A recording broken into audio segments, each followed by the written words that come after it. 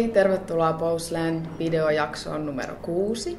Tänään mulla on vieraana Pro, Fitness Pro Kati Alander, Figuna... Miten se sanotaan? Figuraattor. Figuraattor, Kyllä. mä sanon Figuraattor. Mistä tulee nimi Figuraattor? Se on figuraattor. Taas! Figuraattor. Kyllä. Eli, Eli mistä se tulee? Se on KP Euroman keksimä nimi. Joo. Eli se juontaa juurensa siitä, kun mä kilpailin 2012 äh, Arnold äh, Classic Euroopassa ja sijoituin toiseksi siellä. Ja sehän oli kuitenkin, no se on ehkä mun uran tällainen hetken semmoinen suoritus, mitä mä arvostan itse eniten. Onko se sun suurin saavutus täällä? No kyllä se on, koska siinä oli kuitenkin semmoisia kilpailijoita, että ajatellaan, että Candice Keen, Joo. joka on olympia, olympiahuippuja, voittanut Arnoldin ää, kaksi kertaa peräkkäin, nyt voittaa luultavasti kolmannen kerran sen, niin semmoisen kilpailijoiden voittaminen on kuitenkin Onhan se, joo, siis se on todella, todella mieletön saavutus ja se oli mun ihan ensimmäisiä ammattilaiskilpailuja. Niin siitä tuli tämä nimi sitten. Eli KP on keksinyt hänen, hän on antanut Gotchilla ihan tosi. nimen esimerkiksi. Arille. Tai okei, okay, nyt, oh, pakko, nyt pakko pakittaa vähän. Mä en ole varma, onko hän antanut sitä, mutta mä luulisin, luulisin mutta hän keksii aina tämmöisiä loistavia tota, nimiä sitten Onko hän ihmisille. keksinyt Bullikin nimen? Onko Jari sitten? Mistä Mä, mä en tiedä, mä en tiedä. No luultavasti. Mä että Jari on ehkä itse, itse tämän saattanut hyvinkin keksiä. Okei. Mutta mä tiedän, että KP aina, hän on hyvin semmoinen idearikas, niin sitten saattaa tuottaa näitä erilaisia nimiä. Onko sinä tavannut koskaan Terminaattoria? Ähm, Arnold Schwarzenegger. On tietenkin. Oi mun niin kade. Mä niin haluaisin. Mm. Oi, tapaa. hän on Minkälainen, ihana. minkälainen oli sun tapaaminen Arnoldin kanssa? No, mä tapasin hänet tietenkin, koska hän jakoi sitten palkinnot Joo. tässä omassa kilpailussaan. Tapasin siinä hänet, hänet sitten ja äärimmäisen karismaattinen, vahva persoona. Aivan loistava, että tota, joo, mä olin heti lankesin. Suunnilleen. joo, mä lankesin Polvet heti. meni veteläksi. No, pakko sanoa, että meni. Normaalisti ei ole kyllä mennyt. En muista että tilannetta olisi mennyt, mutta silloin meni. Ja sitten mä tapasin hänet uudestaan jälleen kerran hänen nimikkokilpailussaan Kolumbuksessa Ohiossa. Ja mun mielestä se oli mahtava tilanne, kun hän sitten sanoi mulle, että hoi, hoi lady, hei, että tota, joo mä tunnenkin sut. Ihan joo, tosi. että mä, joo, mä tunnen sut. Ja Tota, sitten se seuraava lause, että no, olit murtaa käteeni viime kerralla, koska mä yleensä kättelen sillä tavalla aika tiukasti, Näin. tiukasti niin tota, se oli, On- se oli jäänyt hänelle tiukka mieleen. Joo, tiukka. Joo, se sanoikin mulle silloin, kun mä kättelin, että joo, taas kerran sehän se käyttää tämmöistä, että hei lady, sulla on tiukka ote. Se oli musta hyvin Okei. sanottu. Se on hyvin sanottu. Tota, mm, sä lähdit treenaamaan, kun sä olit katsonut Tina Turnerin elokuvan. Kyllä. Niin siinä oli se Tina Turneria esittävä näyttelijä. Angela Bassett. Joo. Joo. Ja kun sä katsoit hänen fysiikkaan, niin silloin sä päätit, että sä haluat samanlaista. Kyllä. Oliko se sitä ennen tehnyt? Minkäla- oliko se sitä ennen reenannut vai oliko se se hetki, kun sä päätit, että nyt sä rupeat treenaamaan? Tota, no mä oon ollut kiinnostunut fysiikkalajeista äh, hyvinkin nuoresta. Lähinnä miesten kehonrakennuksesta, mikä kuulostaa ehkä hullulta. Joo, mä olin kattonut kaikki Mr. Olympiat ja mä luin aina kaikki podauslehtiä. Vaikka sä treenannut vielä. En mä treenannut silloin, silloin salilla. Mä ratsastin sitä ennen pelkästään. Eli tiedetään sun miesmaku sitten. No miesmakun ei kieltämättä, se on hieman poikkeava taas. Se on ehkä yllättäväkin monelle, että se minun miesmakuni ei ole, että en katsellut heitä tota, siinä mielessä, vaan mä olin ihan urheilullisessa mielessä kiinnostunut kehonrakennuksesta. Mut sit sä katsoit sen elokuvan ja sitten sä päätit, että. Kyllä, koska se oli niin makeen näköinen, tiukka kunto, isot, Mm. kuitenkin suhteellisen isot olkapäät oli hänellä siinä ja se oli semmoinen hienon näköinen, hienon näköinen fysiikka.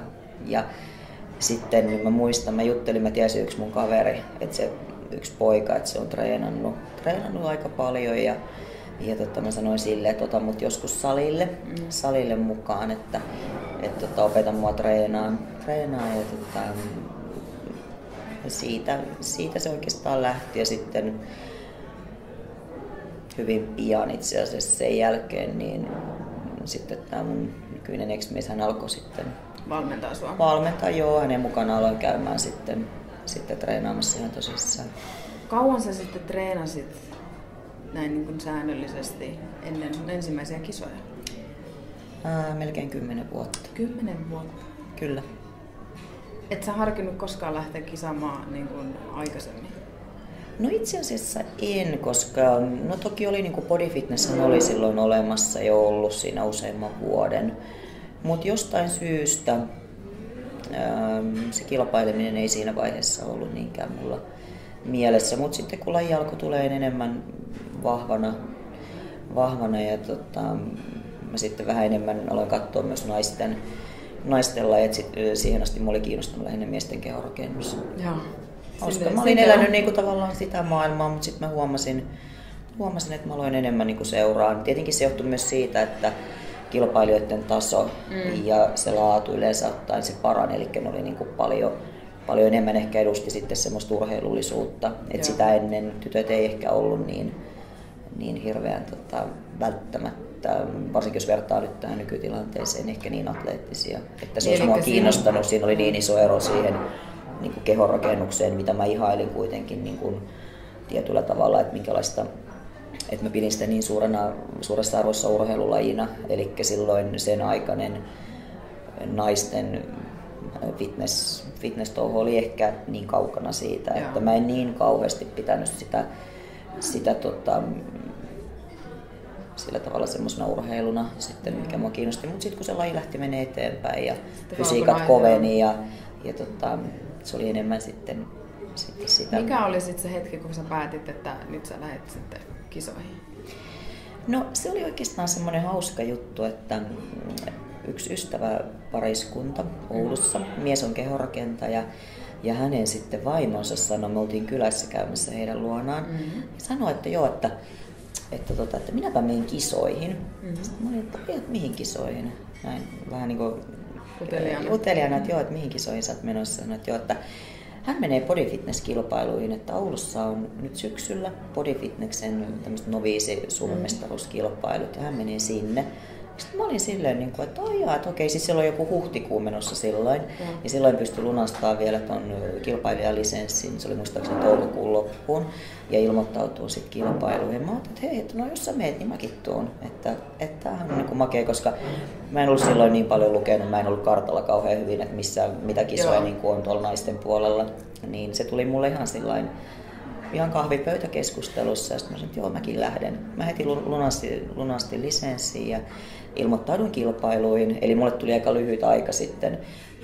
Mä aloitin dietin seuraavana päivänä siitä omaa toimisesti. jos sä olit kymmenen vuotta reenannut, niin kyllä sä sitten olit hyvässä kunnossa. Mutta toki siis, että ihan se mun treenaaminen, mulla saattoi olla pari vuotta semmoista, että mä treenasin hyvinkin vähän. Epä, siis, et siinä saattoi olla semmoisia ajanjaksoja, jotka oli epäsäännöllisempiä, mutta toki mulla oli kova, niin kuin vahva pohja siellä Joo. sitten alla.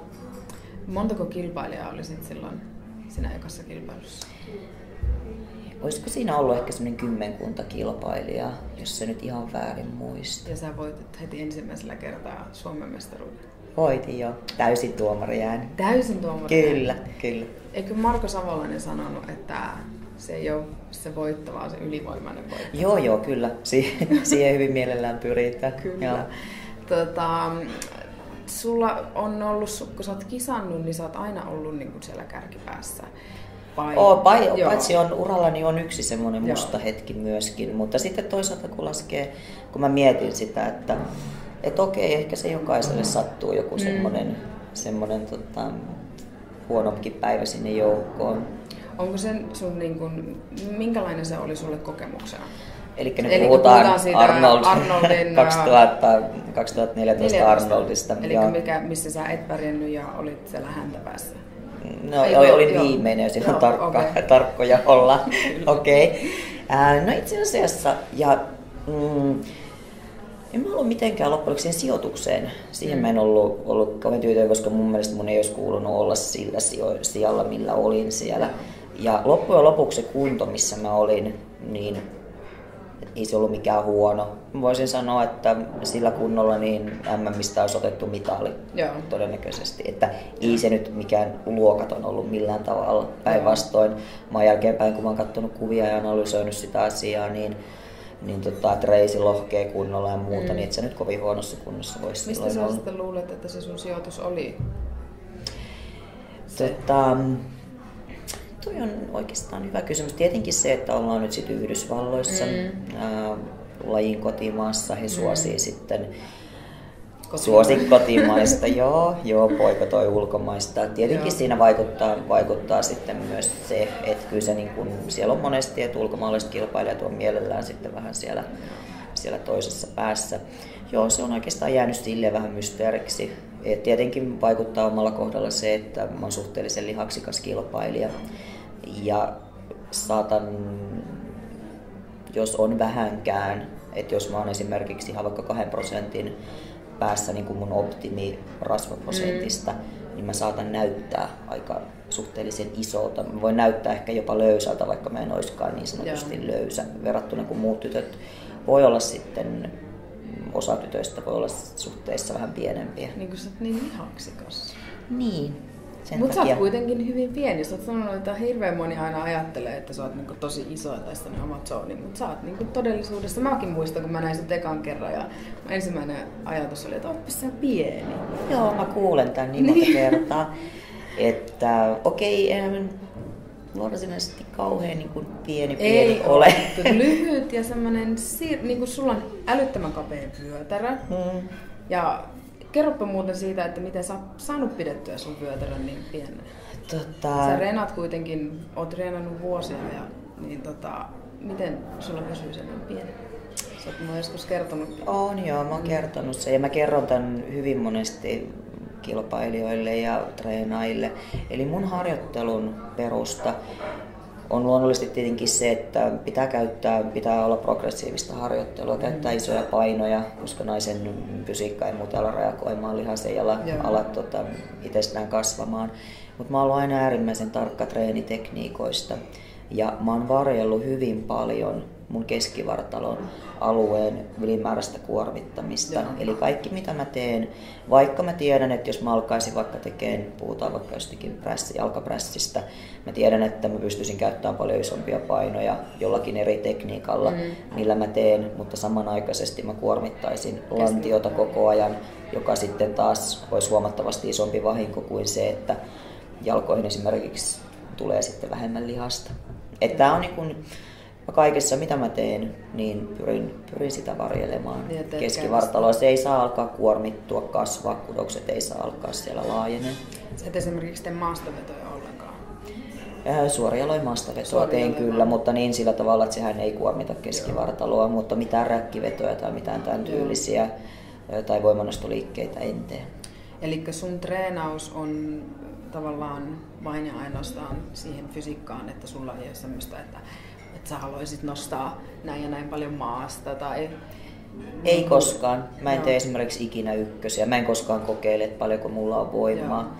Et, tota, se ei ole järkevää, Niin, järkevää nyt toimia. on ammattilainen, niin... Tai mä en tekisi muutenkaan Et sitä. muutenkaan. Ei, koska se ei ole, mä en koe, että on tietenkin erilaisia ihmisiä, että joku sitten nauttii siitä, että Saa. niistä on makeeta olla ja kirjoittaa Facebookiin, että on, on tehnyt, nostanut näin ja näin paljon tai työntänyt, vetänyt. Mm. Mutta mä en ole koskaan kokenut, että mä saisin siitä mitään ja se ei ole mun juttu. Miten sä tota, treenaat tai valmistaudut kisoihin? Minkälainen on sun treenityyli ja milloin sä aloitat dietan? Ja... Mm. Esimerkiksi nythän sulla on syksyllä kisat tulossa. Kyllä. Niin miten sä Kyllä. valmistaudut näihin kisoihin? No oikeastaan mun treenaaminen ei poikkea. Öm, oli se harjoituskaudella tai kilpailuja ennen juurikaan. Mm. Mä treenaan samalla tavalla, tavalla tota, koko ajan. Ennen kilpailuja on tietenkin se, että kun monella on, moni tekee sen, onko se sitten virhe, toisella on semmoinen tyyli, että ne löysää, löysää treenejä, eli alkaa treenaan kevyemmin. Kun alkaa dieettiä? Niin. Sulla on Mulla on päinvastoin. Silloin mä niin kun painan ihan tosissaan. Se on mahtavaa. Kehon elastisuus on silloin huipussaan ja mun suorituskyky on silloin parhaimmillaan. Se on, silloin mä tykkään eniten siitä treenaamisesta. Ja diettihan mulla on suhteellisen lyhyt. Sanotaanko näin, että tällä hetkellä että semmoinen 12-15 viikkoa, niin siihen jopa mahdollisesti lyhyemmällä ajalla pystyn pääseen kuntoon tarvittaessa. Että ei tota, sen pidempää vetoa missään nimessä. Minkälainen on sun treeniviikko, eli kuinka monta kertaa sä treenaat viikossa? Ja mä treenaan viisi tai kuusi kertaa. Kerran päivässä vai Ähm, kerran päivässä. Toisinaan saatan treenata kaksi kertaa päivässäkin sitten. Mutta sä lepäät paljon. Sulla on aina tämmönen treenin jälkeen, sulla on se oma, että sä menet kotiin ja lepäässä syöt Kyllä. ja oliko sulla parin tunnin päiväunet, kun sä Vai? tota, no joo, mä mielellään voisin ottaa päiväunia, jos siihen on mahdollisuus. No joo. Mutta okei, okay, mä en nuku niin hirveän paljon. Et nukkuminen ei ole ehkä, ehkä se, mitä mä teen niin paljon, mutta mä lepään, siis fyysisesti lepään. Joo. Tarkoittaa sitä, että mä vietän tosi paljon aikaa sängyssä. Mä teen suure, se on niin toimistoon sängyssä. Mä teen kaiken, kaiken yleensä sieltä käsin. Kaiken työn sieltä sängystä käsin. Joo, joo, se on. Joo, kyllä. Mitä sä, tota, jos et sä ois aloittanut tätä body fitnessä aikoinaan, niin mitä sä luulet, mitä sä tekisit nyt? En, en tiedä. Toivottavasti mä olisin esimerkiksi niin kuin aivokirurgi. Ai. Eli olisin, olisin tehnyt jotain järkevää, käyttänyt kaiken sen energian mm. ja sen määrätietoisuuden mahdollisesti johonkin järkevään. Järkevään? no, joo, tai tässä nyt voidaan montaa joo. mieltä olla, mutta tota, mä olisin silloin, mulla mä olisin saanut luultavasti jonkun muun semmoisen suuren intohimon kohteen, mihin mä olisin panostanut, panostanut todella paljon. Jos mentäis ajassa taaksepäin, niin muuttaisitko jotain? Ja jos olisi yksi asia, mitä saisit muuttaa, niin mitä muuttaisit?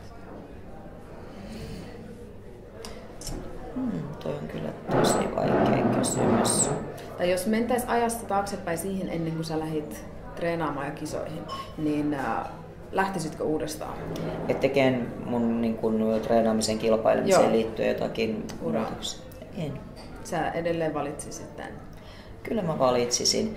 Tietenkin, jos puhutaan siitä, että mä olisin vaikka 18-vuotias, mm. niin mä luulen, että mä olisin ehkä bikini fitness kilpailija mm. mahdollisesti.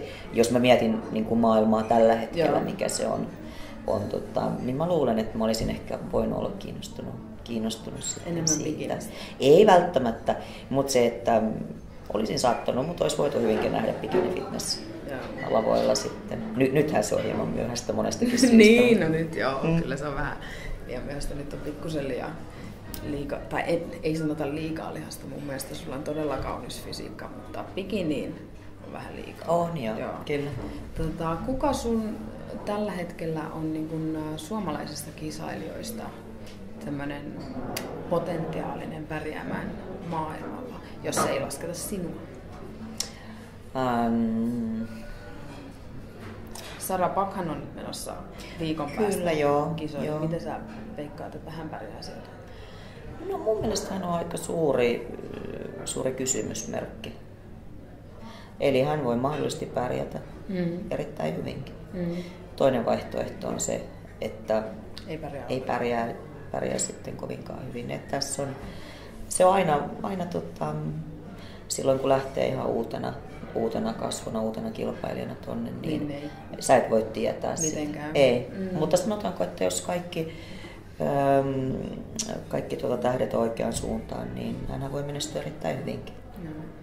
Ja sitten tietenkin no Anna Virmajoki mm.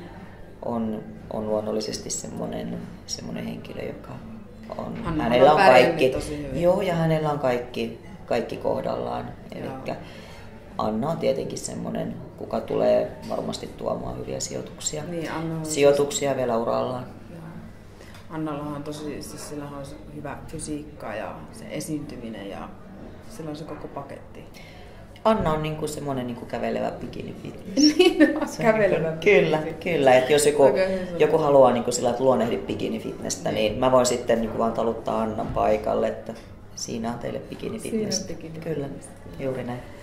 Tota, sä oot myös tuomari IFBBllä. Kyllä. Täällä Suomessa. Ja tota, koska sä aloitit tuomarina? Mä aloitin tuomarihommat, hetkinen, oliko se nyt 2012 vai 2013? Mm. Jompikumpi. Olen mä nyt tehnyt pari vuotta on. on ollut tuomarina. Nyt kun noita kisailijoita on satoja, Kyllä.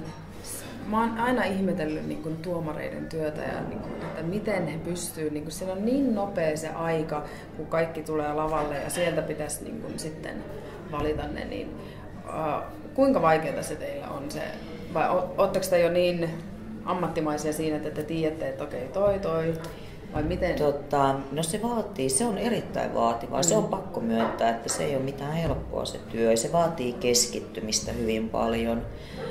Moni, monia asioita sitten edellytetään. Sun pitää pystyä toimimaan tosi nopeasti siinä. Joo. Keskittyminen, ää, yksityiskohtiin kohtien huomioiminen, ää, suuren kokonaisuuden näkeminen. Se on vaikeaa. Joo, mä oon sitä just miettinyt, että se on pakko olla niin kuin todella vaikeaa. Tota, nyt kun on tulossa mm, seitsemän viikon päästä kisat, niin mitä sä neuvoisit uusille kisailijoille, jotka ensimmäistä kertaa nousee lavalle, että mitä heidän, niin kuin, miten valmistautua siihen lavaesiintymiseen? No tietenkin ensimmäinen asia on se, että kaikkien kannattaa käyttää mahdollisimman ammattitaitoista valmennusta mm. ja apua, kaikenlaista mitä vaan on tarjolla. Mm. Eli sieltä saa sitten tietenkin niitä parhaita, parhaita neuvoja ja apuja. Mutta ehdottomasti siihen pitää siihen lavapresentaation, poseeraamiseen, esiintymiseen, mm. kokonaisuuteen, sen luukin suunnittelemiseen. Mm. Siihen pitää, pitää panostaa. Pelkästään sillä, että sanotaanko, että vaikka se oma fysiikka esimerkiksi ei olisi nyt kärkisijojen sijojen, tota, arvoinen vielä sillä hetkellä. Esimerkiksi tuo vähän treenitaustaa.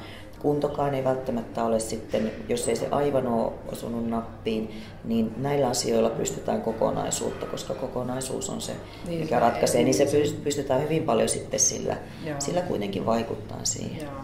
Eli muistakaa, poseeraus, todella tärkeää. Kyllä, Kyllä. se on todella tärkeää. Ähm, tuota, nyt kun, jos puhutaan edelleen tästä kisaamisesta, niin mennäänkö sun mielestä välillä vähän liian nopeasti sinne lavalle niin kuin todella lyhyen treenaamisen jälkeen? Kyllä. Joo. Mullakin on tullut näitä vastaan, että niin kuin tullaan valmennukseen ja sanotaan, että en ikinä treenannut, mutta mä haluan mennä kisoihin. Kyllä. Ja sitten kysytään, että no, koska, että voisinko mä mennä jo syksyllä. Niin ootko sä huomannut, huomaatko sä siellä, että siellä mennään liian aikaisin sinne lavalle? Kyllä, Kyllä se on monessa tapauksessa, että sillä tavalla tietenkin tämä yhteiskunta, nykyaika yhteiskunta on semmoinen, että kaikki pitäisi saada hirveän, hirveän nopeasti. Mm. Että mieluummin sitten malttia ja kärsivällisyyttä, siihen pitkäjännitteisyyttä, koska se on kuitenkin joka kerta, kun menee kilpaileen, joutuu tekemään sen työn, joutuu vetämään sen dietin. Ja se kannattaa tehdä mieluummin sillä tavalla, että siinä on sitten, sitten että kaikki edellytykset jotta voi olla mahdollisimman hyvä, niin kannattaa odottaa vuosi, pari, pari ja tehdä työtä. Tehdä kunnolla sitä Kyllä. työtä ja sitten mennä Nimenomaan. voittamaan. On ja vaikka ei voittaskaan, niin. mutta tuota pystyy tietää, että okei, että nyt mä oon ollut, ollut riittävän valmis tähän ja olla tyytyväinen sit siihen suoritukseen, mikä on tehnyt. Joo. Tähän lopuksi mä haluan kysyä, että mikä on sun suurin tavoite nyt tällä, tässä lajissa? No mun suurin tavoite on, on joka kerta jo kaikisella kaudella päästä olympiaan, eli voittaa ammattilaiskilpailu. Joo. Se on se mun, mun tota, juttu, mitä mä haen tältä, tältä lajilta. Ja kauanko sä meinaat kisata? 60-vuotiaaksi. 60-vuotiaaksi. Eli sitten kun tulee 60 V täyteen, niin sitten loppuu. Joo, sitten mä voin, voin siirtyä tota, muiden lajien pariin. Mitkä olisi ne muut lajit? Tota, sitten mä ehkä haluaisin alkaa harrastaa yleisurheilua. 60-vuotiaana? Kyllä, kyllä. Mä luulen, että mä oon nopea lyhyillä matkoilla. No niin, siinä on sitten tavoitetta Kyllä, kyllä.